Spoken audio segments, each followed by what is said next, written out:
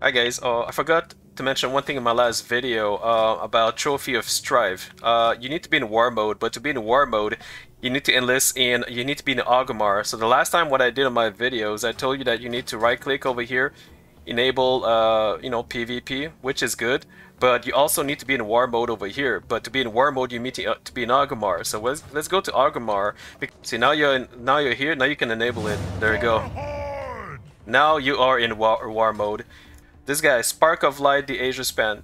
So to get to get these Trophy of Strife, you need to get uh, Spark of Life in the Azure Span while in War mode. So yes, it was I was right when I said you need to enable PvP mode over here, but you also need to be in War mode over here. So yeah, guys, I forgot to mention this on my last video. Sorry about that. So there you go, and make sure you are PvP enabled, enabled over here. All right, guys, thanks for watching, and and uh, yeah, good luck.